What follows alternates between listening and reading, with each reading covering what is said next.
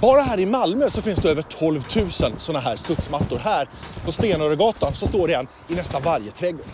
Det betyder att studsmattifieringen av vårt land är nästan fullbordad.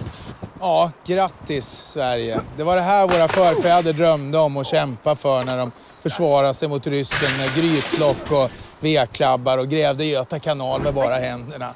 Det var här, det var målet. Det var att eh, vi skulle få det så här bra, att våra barn med såna här spännande individualistiska namn som Spartacus och Elva skulle få ha sin egen studsmatta att studsa på. Inte behöva träffa en massa andra barn utan få lite privacy. Va?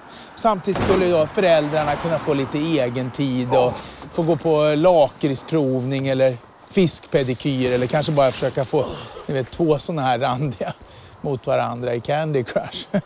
Det här, det här var liksom målet. Eller hur Henrik? Ja, lyckligare än så här blir vi bara inte.